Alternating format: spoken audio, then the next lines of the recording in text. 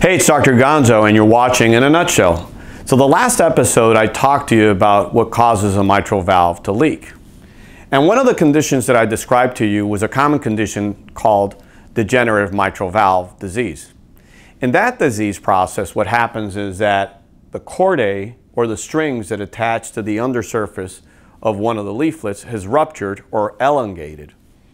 In that situation, like I've drawn here, instead of having blood moving in one direction, blood starts going backwards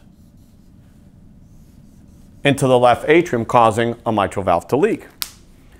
So if you paid close attention, you've already figured out what the solution is. Commonly what we do in these cases is that we replace the broken chord. And by doing that, we reestablish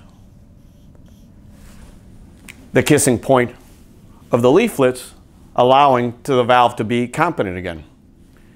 And that's mitral valve repair in a nutshell. Thanks for watching. See you in the next one.